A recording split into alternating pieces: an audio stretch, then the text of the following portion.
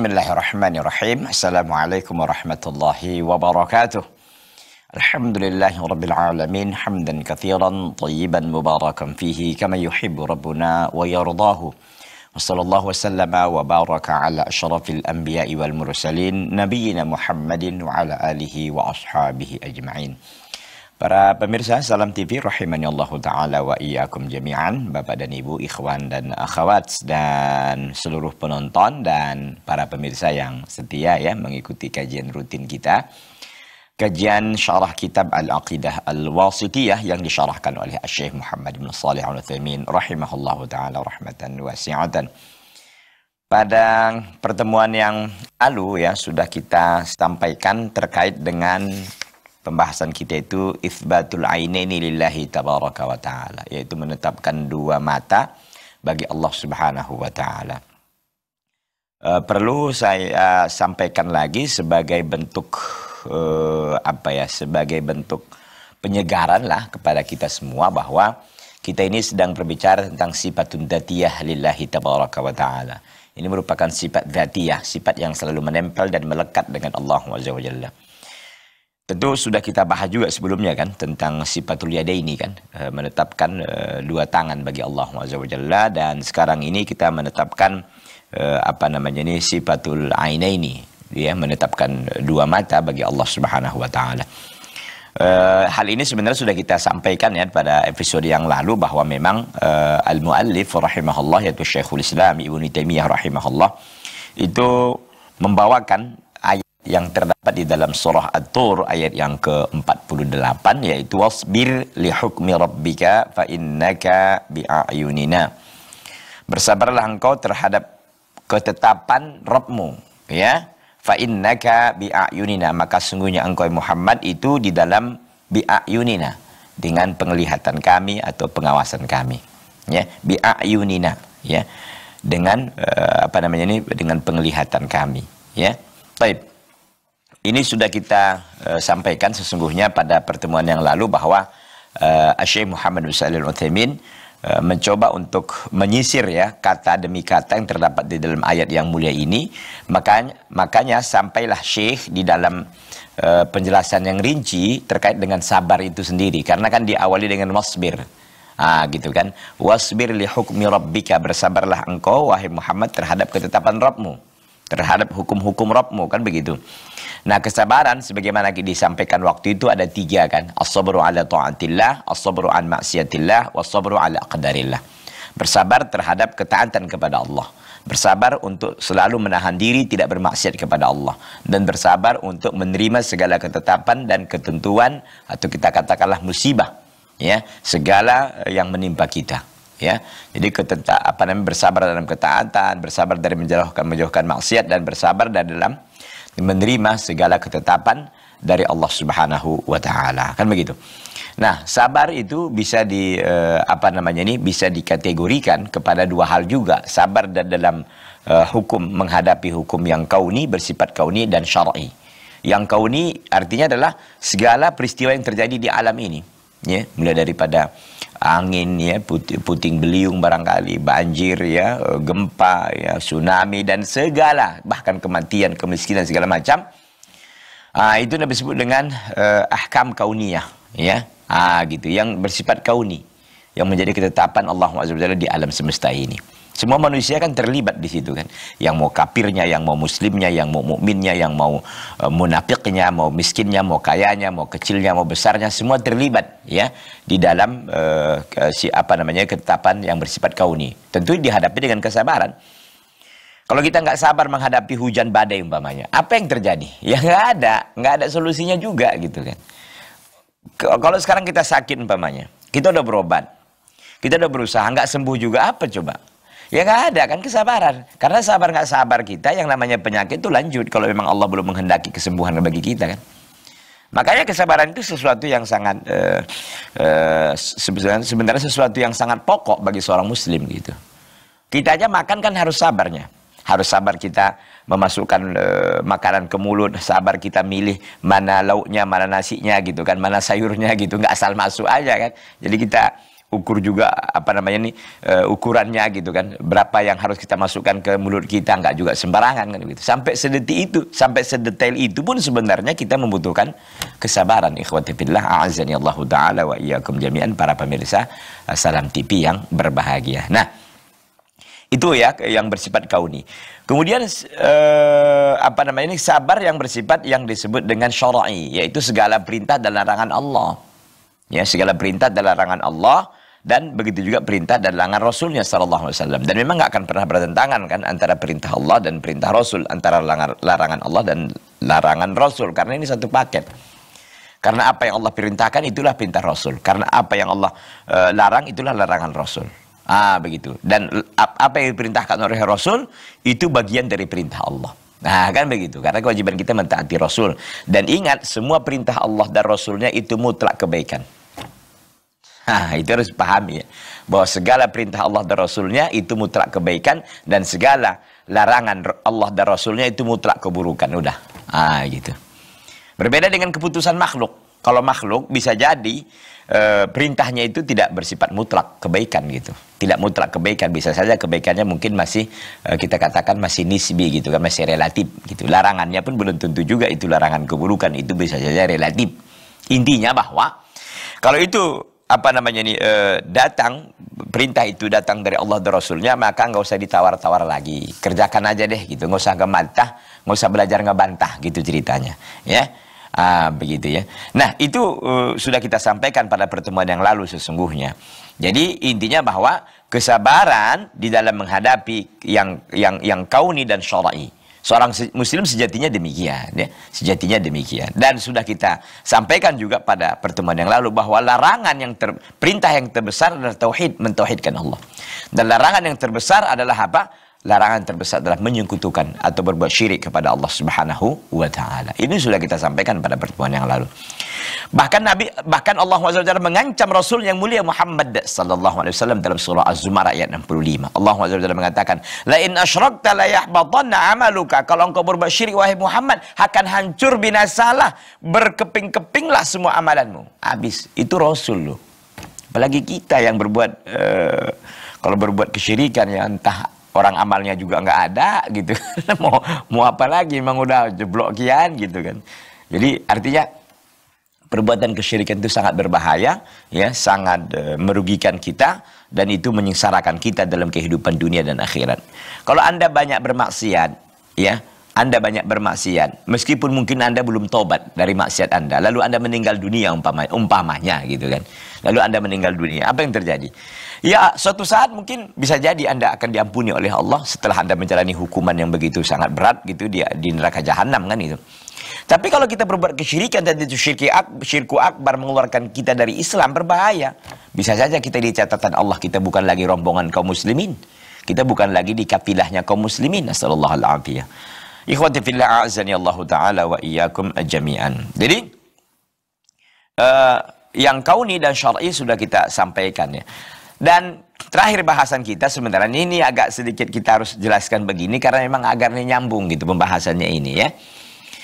Nah, pada pertemuan yang lalu itu sudah kita sampaikan juga bahwa Rasulullah SAW adalah orang yang paling bersabar dalam menghadapi yang namanya ahkam qadariyah, ketetapan Allah SWT. Ya, apakah itu gangguan manusia, celaan manusia dan seterusnya dan seterusnya. Ini sudah disampaikan bahwa beliau ketika menyampaikan dakwahnya awal sekali di Makkah, ya, beliau Sallallahu Alaihi Wasallam itu banyak menghadapi menghadapi godaan, banyak menghadapi cobaan dan dan musibah.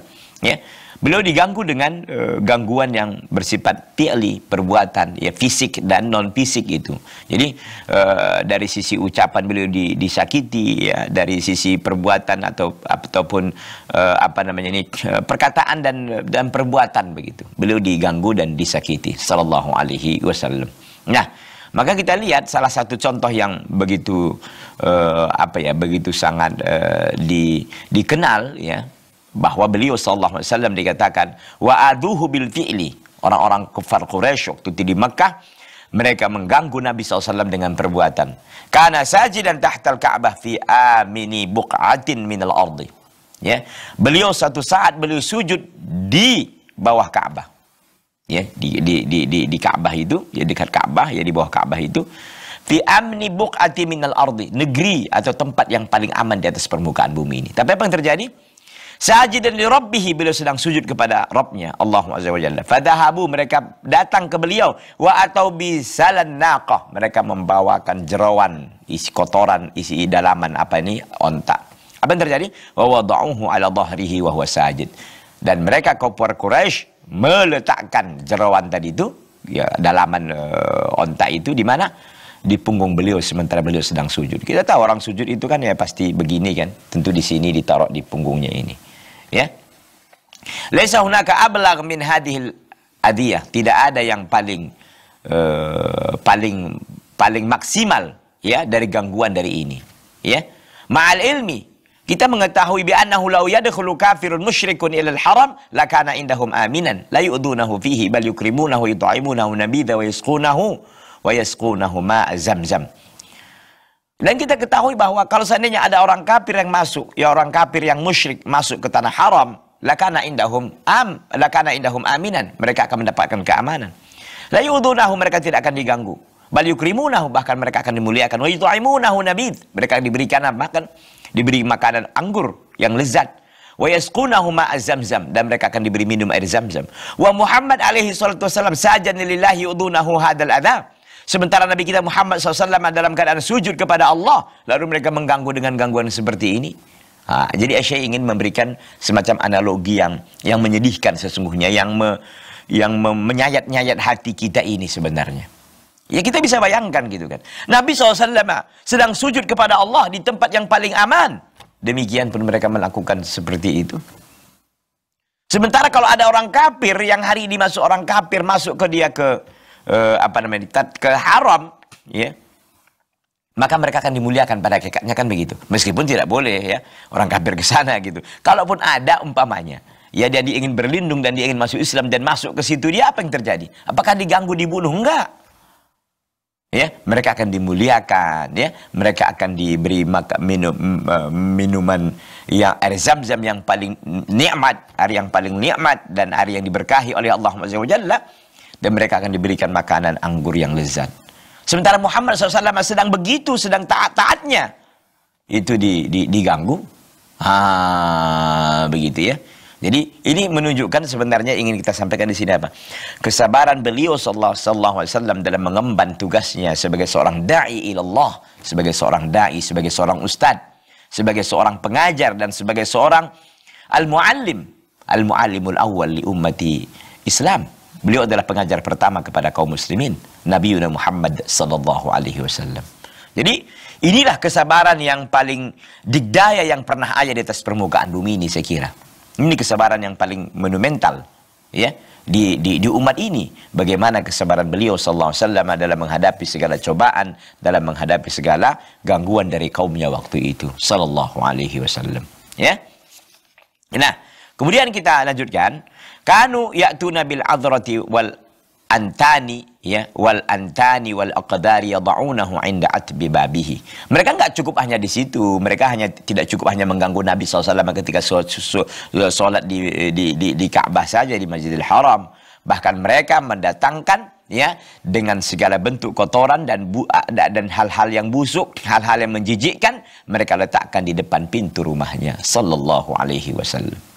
Ah, gitu ya. Jadi ini sebenarnya kenapa kita tidak bahas sifat mata tadi Pak Ustadz? Kan mungkin begitu bertanya ya. Karena Asyai Muhammad Sallallahu Utsaimin ingin menjelaskan dan menyisir ayat itu kata demi kata. Itu itu itu itu, itu yang ingin saya sampaikan di sini bahwa Asyai tidak ingin ya melewatkan uh, satu kata pun dari ayat dalam surah At-Tur 40 48 itu gitu. Jadi ini rentetannya sesungguhnya kan. Jadi ini sebelum kita masuk pembahasan intinya ini dijelaskan dulu gitu kira-kira ya. Jadi mereka uh, para orang-orang yang membenci dakwah Nabi sallallahu alaihi wasallam terutama kafir Quraisy waktu itu mereka senantiasa apa? Senantiasa mengganggu ya Nabi sallallahu alaihi wasallam. Wa kharaja ila ahli Taib ya dan beliau sallallahu alaihi wasallam keluar ke negeri Taif. Ya, kita akan lanjutkan nanti setelah yang satu ini ya. Jangan ke mana-mana, uh, tetap di Salam TV Sahabat Keluarga Muslim.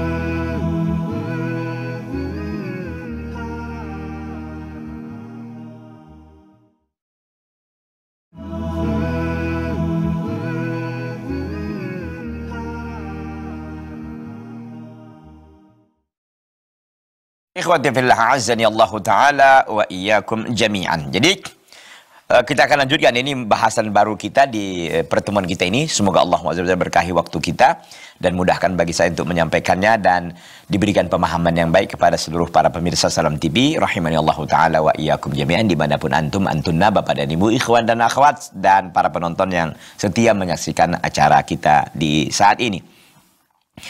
Qala al-muallif rahimahullahu taala rahmatan wasi'atan wa kharaja ila ahli Taif. Nabi sallallahu alaihi wasallam keluar ya menuju penduduk Taif. Ya, di kota Taif sekarang ini ada di Saudi namanya kota Taif ya.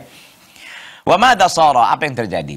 Sara al-idha al صار الإيذاء العظيم ya صار الإيذاء العظيم صف السفهاء صف سفهاؤهم وغلمانهم على جانب الطريق ya ala janibai tariq. Beliau keluar ke penduduk Taif tentu dalam rangka berdakwah ilallah ya. Wa madha sarab yang terjadi? Saral ida'u al azim. Jadilah gangguan itu besar. Besar besar gangguannya sangat besar. Saffa sufaha'uhum. Orang-orang bodoh dari penduduk Taif ini membuat saf ya membuat barisan. Wa ghilmanuhum dan anak-anak kecil mereka. Ala janibi tariq di dua sisi jalan. Jadi kanan dan kiri mereka ber, berbaris begitu ya. Jadi ada orang-orang bodoh, ada orang-orang apa namanya ini anak kecil gitu. Wa ja'alu yarmunahu bil hijarah dan mereka pun melempari Nabi sallallahu alaihi wasallam dengan batu hatta ada mau aqabah sehingga mereka pun ya me, mem, membuat tumit Nabi sallallahu alaihi wasallam berdarah. Allahu akbar. Falam yufiq illa fi qarni tha'alib dan beliau pun tidak tidak siuman karena beliau begitu sangat banyak mendapatkan uh, apa lemparan batu dari penduduk Taif waktu itu yang mereka uh, suruh adalah uh, orang-orang bodoh dan orang-orang anak-anak kecil ya untuk melempari Nabi SAW dan uh, kalau tidak silap saya waktu dia di dalam riwayat itu bersama beliau Zaid bin Harithah ya. Uh, sehingga mereka pun membuat tumit Nabi berdarah dan Nabi SAW tidak sembuh ya apa namanya tidak siuman ya uh, kecuali di di di di khorni Tha'alib namanya. Selengkapnya bisa di, dicek ya di dalam riwayat Bukhari dan Muslim dari Ibunda Aisyah radhiyallahu taala anha. Kalau kita lihat hadisnya di sini annaha qalat lin Nabi sallallahu alaihi wasallam bahwa Ibunda Aisyah berkata kepada Nabi sallallahu alaihi wasallam, "Hal ata alaika yaumun kana ashadda min yaumi Uhud?" Apakah pernah datang kepada satu hari yang lebih sulit bagimu daripada hari Uhud? Karena kita tahu di perang Uhud Nabi SAW juga menderita ya dengan kehilangan banyak sahabat yang meninggal di perang Uhud ya termasuk di sana uh, Hamzah bin Abdul Muttalib termasuk juga apa namanya ini uh, Mus'ab Mus'ab ibnu Umair dan yang lainnya radhiyallahu taala anhum jami'an dan banyak para sahabat yang terluka waktu itu radhiyallahu taala anhum jami'an. Maka kata beliau laqad laqitu min qaumiki ma laqitu wa kana ashadda ma laqitu minhum yaumal aqabah. Ya. Aku telah mendapatkan dari kaummu apa yang sesuatu yang aku dapatkan dan itu sangat uh, apa namanya ini sangat dahsyat ya apa yang aku dapatkan di yaumul aqabah. Ya. Ah begitu. Intinya hadis ini panjang kalau nanti kita baca maka di akhirnya kalau kita cek ya penada Ternyata uh, Nabi SAW kan disampaikan tadi sampai di apa namanya Qarni Sa'alib. Lalu uh, kata Nabi SAW, uh, beliau dalam keadaan itu kemudian beliau siuman farafa'tu ra'si fa idza ana bi sahabatin qad fa nazartu fa idza fiha Jibril. Ternyata aku ketika aku sudah siuman, aku mengangkat kepalaku, maka aku berada atau melihat sahabah, yaitu awan, qad adhallatni awan yang telah me, uh, menaungiku. Fanazartu fa idza fiha jibril. Aku melihat ternyata di dalam awan itu ada ada jibril. Fanada lalu jibril pun menyeru faqal innallaha qad sami'a qaula qaumika laka wa ma raddu alaika Sungguhnya Allah telah mendengar apa yang disam, apa yang menjadi tanggapan ya perkataan kaummu dan apa yang menjadi uh, dan bagaimana penerimaan atau bantahan mereka, penolakan mereka. Wa qad ba'atsallahu ilaika malakal jibal dan dan Allah SWT telah mengutus kepadamu malaikat gunung litakmurahu bima syi'ta fihim agar engkau memerintahkan apa yang kau hendaki uh, kepada penduduk Taif tadi. Pada ada malikul jabal eh, pada ada malikul jibali fasalama alayya maka malaikat jibal pun me, apa namanya ini uh, uh, me, apa ya menyeru ataupun kita katakan uh, menyapa Nabi sallallahu alaihi wasallam ya lalu dia mengucapkan salam kepada Nabi sallallahu alaihi wasallam. Tsumma qala ya Muhammad wahai Muhammad faqal Dzalika fi syi'ta itu terserah kepadamu.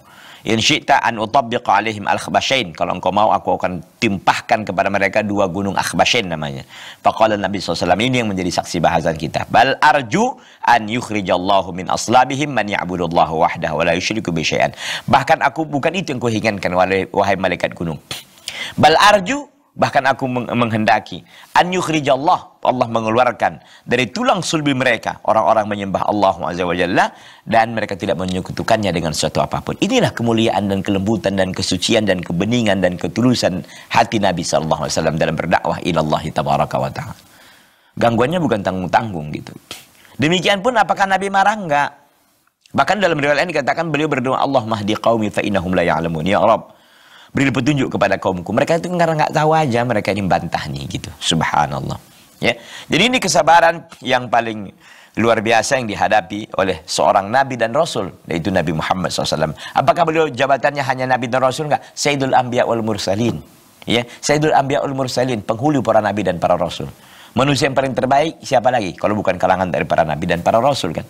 Dan mereka surganya yang paling tinggi yaitu surga Firdausil A'la. Semoga kita dikumpulkan oleh Allah bersama Nabi kita Muhammad sallallahu alaihi wasallam. Demikian pun apa yang terjadi? Mereka mendapatkan apa? Mereka mendapatkan uh, cobaan yang sangat luar biasa. Terutama ulul azmi dari para rasul. Ada Ibrahim, ada Nuh, ya, ada ada Musa, ada Isa dan ada Nabi kita Muhammad sallallahu alaihi wasallam. Baik. Kita lanjutkan. Jadi intinya bahwa Uh, Syekh Muhammad bin Shalih Utsaimin membawakan ini untuk men dalam rangka menjelaskan ayat ya. Karena beliau tidak ingin melewatkan satu demi satu ayat atau kata demi kata atau kalimat demi kalimat yang terdapat dalam surah At-Tur ayat 48 itu. Itu yang ini mau dikejar di sini. Makanya uh, kok agak jauh ya pembahasannya kan kita pembahasannya tentang mata Pak Ustadz kok. Ah itu itu yang saya sampaikan karena Syekh tidak ingin ya melewatkan satu satu kata pun dari ayat terdapat dalam surah At-Tur ayat 48 tersebut. Fasabara ala hukmillah maka beliau sallallahu alaihi wasallam bersabar tetap terhadap ketetapan Allah. Walakinnahu sabrul mu'min yu'minu bi anal aqibata lahu. Tetapi itu adalah kesabaran yang dilakoni oleh seorang mukmin yang dia beriman bahwa bi anal aqibata lahu bahwa uh, akibat ya bahwa akibat yang baik itu akan ada padanya.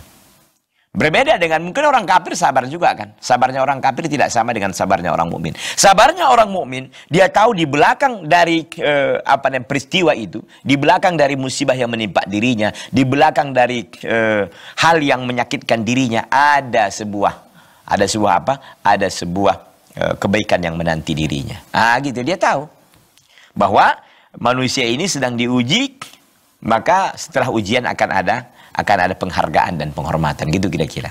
Ah gitu kan. Ada istilah orang lagi badai pasti berlalu ya. Karena tidak ada yang abadi di dunia ini kan. Semua akan silih berganti.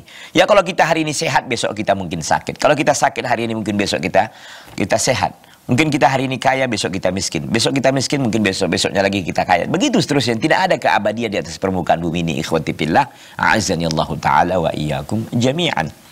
Kalau mau kita abadi itu jadikan amal soleh kita. Ber, banyak ber, beramal soleh. Karena amal soleh itu senantiasa akan menemani kita meskipun kita sudah berada di liang lahat. Itu yang setia. Yang lainnya mah nggak ada setianya itu. Ah gitu ya. Apa yang setia gitu? Ah, yang namanya harta, ya jabatan, kedudukan, teman, nggak ada yang setia. Yang setia amal soleh yang pernah kita lakukan ikhwati fillah. Atau kita punya amal jariah yang selalu siap menyalurkan pahalanya yang akan selalu datang pahalanya meskipun kita sudah berada di di liang kubur. Ikhwati fillah azani Allah taala wa iyyakum jami'an.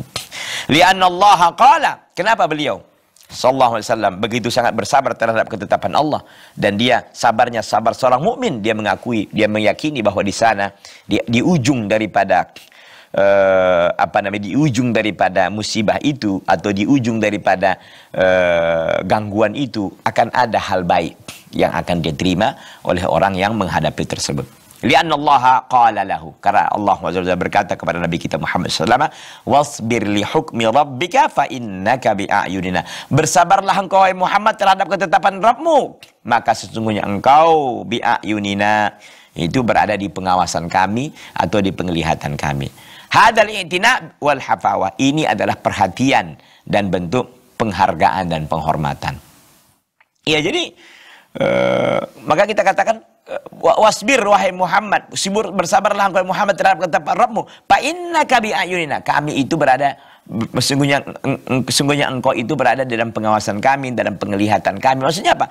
Hadal i'tina wal hafawah. Ini adalah sebuah eh, apa namanya ini? Uh, sebuah uh, penghormatan ya, sebuah perhatian dan perlindungan. Jadi Nabi sallallahu alaihi wasallam itu dijaga oleh Allah Tidak akan Allah biarkanlah ya tidak akan Allah Jalla biarkan sampai Nabi Wasallam kenapa-kenapa gitu kira-kira kalau mungkin bahasa orang Medan kan gitu. Artinya apa? Kalau sekedar mungkin tadi itu, iya betul Nabi SAW sampai pingsan bahkan gitu kan berdarah tumit beliau dan seterusnya dan seterusnya. Tetapi sesungguhnya Allah Jalla senantiasa menyaksikan hal itu. Bukan Allah lalai dari itu enggak. Makanya kan Allah Jalla menguji beliau lagi dengan menurunkan apa? Dengan mengirimkan bersama Jibril malaikat gunung yang akan siap untuk apa?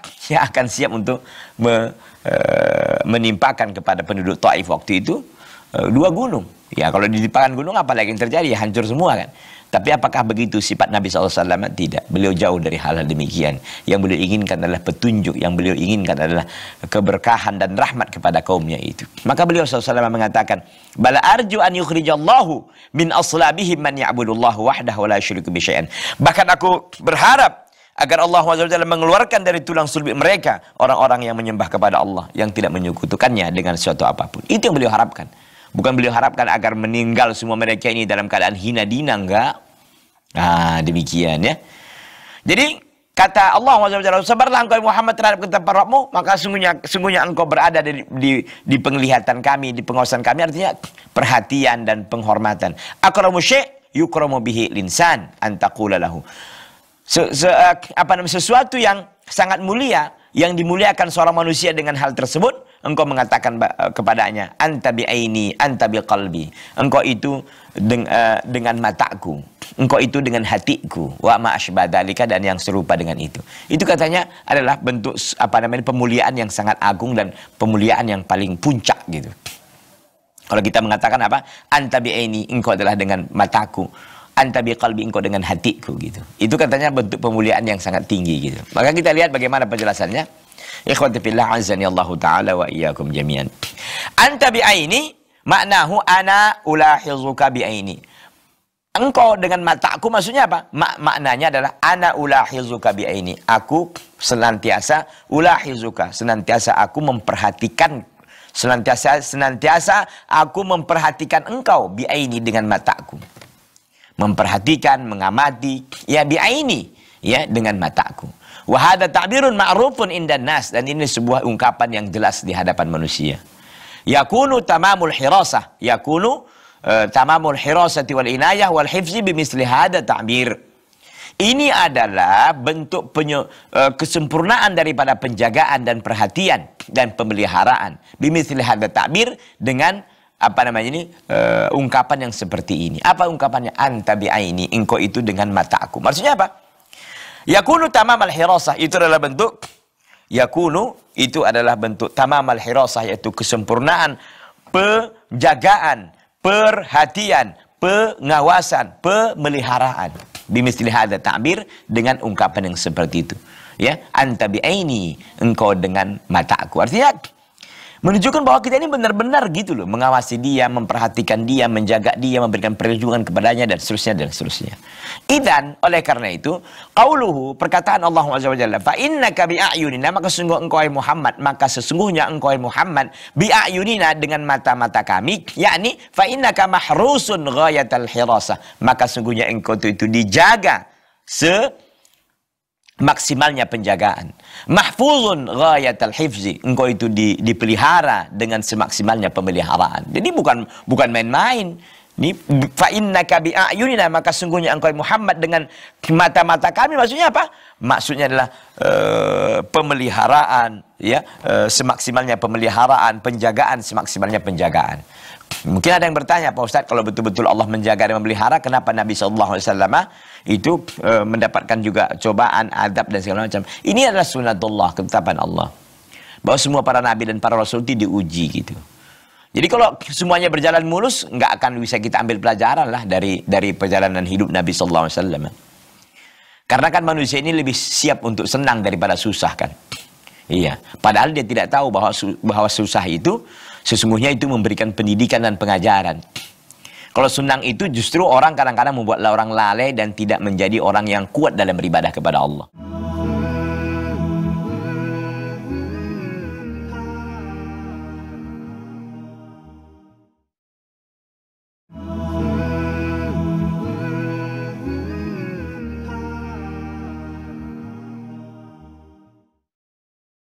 Makanya kalau kita buat survei kecil-kecilan ya, mana di satu kampung aja lah. Kita lihat yang sholat ke masjid itu umpamanya 10 orang umpamanya.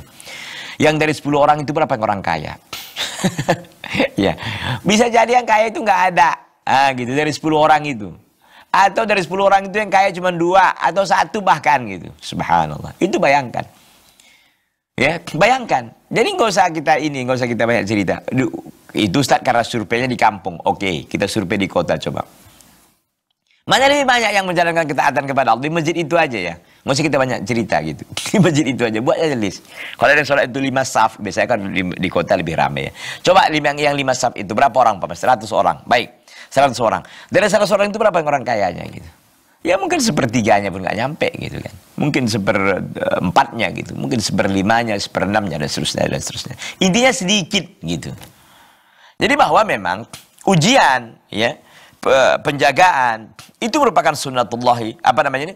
Ujian dan cobaan itu merupakan sunnatullah ketetapan Allah SWT bahwa semua orang diuji. Semua orang diuji. Semakin tinggi keimanan orang tentu ujiannya semakin besar. Bukannya semakin kecil gitu. Maka kata Nabi wasallam asyadun nasi uh, balaan al anbiya thumma al amsal fal amsal manusia yang paling keras balaknya cobaannya adalah para nabi. Kemudian yang semisal dengan mereka, kemudian semisal dengan mereka. Jadi jangan dianggap para nabi itu enak-enak aja gitu. Enggak. Mereka yang paling berat cobaannya dan ujiannya. Radiyallahu uh, sallallahu alaihi wasallam atau alaihi wassalatu wassalam kepada mereka semuanya. Ya. Bi ayunina ay ayunina ma'aka yaitu ayunina ayununa ma'aka yaitu apa ayununa ayun mata-mata kami bersama engkau. Enahfazuka kami jaga engkau wa nar'aka dan kami pelihara engkau wa na'tani bika dan kami memperhatikan engkau. Itu inti maknanya. Fil ayatil karimati isbatul aini lillahi azza wa jalla. Di dalam ayat yang mulia ini ada penetapan mata bagi Allah Subhanahu wa taala. Lakinnaha ja'at bisighatil jam'i. Tetapi uh, ayat itu datang dengan bentuk jamak yaitu plural ya, bentuk jamak. Lima sanadkur insyaallah taala akan kita sebutkan nanti insyaallah taala. Artinya kenapa ini bentuknya jamak? Berapa sungguhnya jumlah mata bagi Allah? Ah, itu kan. Padahal di awal sudah kita sebutkan di awal bab ya. Isbabu isbatai is, isbatu ainaini lillah menetapkan dua mata bagi Allah. Tapi kan di sini bentuknya jamak kan. Ai bi ayunina gitu kan. Dengan mata-mata kami. Jadi sebenarnya berapa sih? Ah gitu kan nanti akan kita jelaskan ya insyaallah taala uh, jika memang ada waktu nanti kita jelaskan kalau tidak mungkin pada episode atau pada pertemuan yang akan datang. Ikhwati fillah azani Allah taala wa iyyakum jami'an. Al-ainu min sifat dzatiyatil khabariyah. Ain itu merupakan sifat dzatiyah yang khabariyah. Ingat ya. Jadi uh, apa namanya? Al-ain itu merupakan sifat dzatiyah khabariyah. Ya. Sifat dzatiyah khabariyah. Adzatiyah Kenapa disebut diatiyah? Li'annahu lam yazal wa lam yazalu muttasifan biha. Karena Allah SWT senantiasa dan terus-menerus bersifat dengan dengan hal tersebut, yaitu mata. Karena nggak mungkin itu terlepas dari Allah SWT, enggak. Itu adalah satu sifat zatiyah namanya, sifat yang selalu melekat dengan Allah SWT. Kenapa disebut di khobariyah? Li'anna musammaha binisbati ilaina ajza'un wa ab'ad. Karena Eh, penamaannya terkait dengan kita itu adalah bagian. Itu adalah bagian dan anggota tubuh. Ajza bagian dan anggota tubuh. Bagi kita itu ibaratnya anggota tubuh dan bagian gitu kan. Khobariyahnya pemberitaannya ke kita padahal bagi Allah SWT tidak bisa kita katakan hal demikian. Ya, bahwa eh, apa namanya ini? Bahwa Allah SWT memiliki mata, iya. Tapi apakah kita katakan itu bagian uh, satu bagian dari zat Allah maka kita katakan bahwa tidak seperti makhluk tidak seperti makhluk. Maka disebut di sini uh, zatiyah karena selalu menempel kepada Allah. Kemudian al khobariyah artinya karena terkait dengan apa namanya penamaannya uh, terkait dengan kita itu seperti bagian dan anggota tubuh. Ah gitu kan. Fal minna ba'dun minal wajhi. Maka mata dari kita itu merupakan bagian dari wajah. Betul kan? Kita punya mata ini dan mata kita ini kan bagian di bagian dari wajah kita. Wajah ini kan ter, yang ternampak di depan, kan itu yang disebut dengan wajah. Yang di yang depan seperti ini disebut dengan wajah. Dan mata ada di situ. Dan itu mata bagian dari dari wajah. Wajhu ba'dhu minal jismi dan wajah itu bagian dari anggota tubuh. Anggota tubuh. Artinya bagian daripada tubuh kita ini. Kita punya tubuh dan salah satu bagiannya adalah apa? Adalah uh, wajah. Ah gitu kan. Dan mata bagian dari wajah. Ah gitu kira-kira ya. Lakinnaha binisbati lillahi la yajuzu an naqul innaha ba'dun min Allah. Tetapi ya terkait dengan Allah Azza wa Jalla tidak bisa kita katakan bahwasanya itu bagian dari Allah. Enggak bisa kita katakan bahwa mata itu bagian dari Allah secara langsung begitu sebagaimana makhluk enggak. Kenapa? Li'annahu sabaqa anna hadzal lafdha lam yarid. Karena sesungguhnya telah berlalu bahwa lapas yang seperti ini tidak ada. Tidak ada yang mengatakan ba'dun min Allah. Ini adalah bagian dari Allah. Enggak. Ya juga kita katakan bagaimana? Allah punya mata? Iya. Allah punya mata. Zat Allah Jalla ya memiliki mata udah. Tapi jangan kita eh, apa namanya ini mengatakan bahwa hal itu bagian dari apa namanya ini bagian dari dari Allah Jalla nggak bisa. Nggak bisa kita. Kenapa? Kenapa kita tidak seperti itu? Karena ini lapas ini tidak datang. Tidak datang dalam pengertian tidak ada riwayat yang seperti itu. Jadi kita sampai pe, apa ya penentuan lapas aja pemilihan redaksi katanya pun harus tegas gitu, harus jelas dan harus uh, apa ya harus uh, selalu uh, berdasar gitu. Jangan sampai uh, kita ini mengatakan sesuatu apalagi ini terkait dengan zat Allah yang tidak ada dasarnya dan dalilnya. Itu intinya. Bahwa senantiasa kita senantiasa kita uh, mengatakan sebagaimana yang datang di dalam dalil Al-Quran dan Sunnah ala fahmi salafil muah. Itu maksudnya. Wa annahu yaqtadi tajzi'a fil khaliq.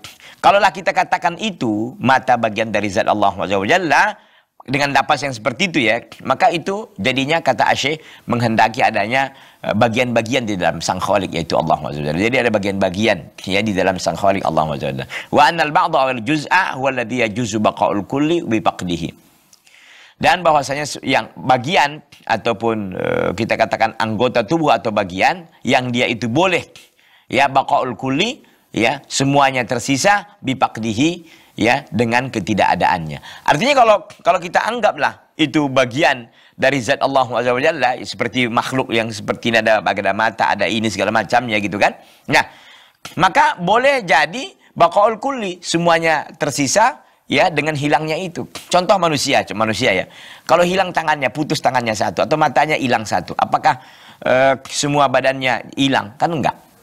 Ah, gitu kan. Nah, hal ini nggak bisa kita katakan itu kepada Allah Subhanahu Nggak bisa kita katakan seperti itu, ya. Maka kita katakan bahwa uh, intinya Allah Subhanahu zat Allah Azza wa memiliki mata. Udah, Nah, gitu aja. Nggak kita katakan ini bagian dari ini, nggak, nggak, nggak, nggak seperti itu bahasanya, gitu kira-kira. Karena ini akan melazimkan apa? Akan melazimkan ada tajziah, ada bagian-bagian dari dalam sang kholik, ya. Dan bagian-bagian yang seperti ini boleh uh, baqaul kulli, ya boleh tersisa semuanya dengan bipaklihi, dengan tidak adanya dia. Kalau ada sebagian dari anggota tubuh, kalau contohlah manusia ya, kan tetap aja dia bisa hidup begitu kan. Wa yajuzu an yafkid dan boleh juga hilang. Kan begitu. Bisa saja orang nggak punya mata pun hidupnya gitu kan. Wasifatullah la yajuz an tafqada abadan. Sementara sifat Allah itu tidak bisa hilang selama-lamanya. Bal hiya baqiyatun, bahkan dia kekal selama-lamanya. Itu kekal. Jadi nggak boleh kita menganalogikan dengan makhluk gitu intinya. Ah, demikian ikhwati fillah a'azzani Allah taala wa, wa iyyakum jami'an. Wa qad al hadits as-sahih an Rasulillah sallallahu alaihi wasallam anna lillahi ainaini ithnataini faqat. Dan telah datang hadis yang sahih dari Rasulullah SAW bahwa Allah memiliki dua mata saja. Hina wasafat dajjala ketika Nabi SAW menceritakan tentang dajjal. Waqal dan Nabi mengatakan innahu a'war sungguhnya dajjal itu buta. Wa inna rabbakum laysa bi'awar sementara Rabb kalian itu bukan buta. Wa fil a'warul ainil yumna. Di dalam lapas mengatakan bahwa dajjal itu buta ta, mata kanannya begitu. Ikhwati fillah a'azani Allah taala wa iyyakum jami'an. Jadi ini kita sudah mulai menjurus ya terkait dengan masalah mata ini. Intinya bahwa dalam hadis yang sahih dinyatakan bahwa Nabi uh, Nabi SAW bersabda bahwa Allah memiliki hanya dua mata saja. Ya, ketika Nabi SAW menceritakan tentang Dajjal, karena Dajjal itu innahu awar, dia dia buta. Wa inna rabbakum laysa bi'awar. Rabb kalian itu tidak tidak buta. Ah, gitu ya. Dalam nafas lain dikatakan awarul aini yumna. Dajjal itu matanya buta sebelah kanan. Ah, demikian ikhwati fillah, a'azani Allah taala wa iyyakum jami'an. Mudah-mudahan Allah mudahkan kita kembali bertemu di lain kesempatan. Ya, apa yang saya sampaikan ini bermanfaat bagi saya pribadi dan seluruh para pemirsa yang menyaksikan acara ini. Hada sallallahu wasallam wa baraka ala nabiyina Muhammadin wa ala alihi wa ashabihi ajma'in. Subhanaka Allahumma bihamdika asyhadu an la ilaha illa anta astaghfiruka wa atubu ilaika. Wassalamualaikum warahmatullahi wabarakatuh.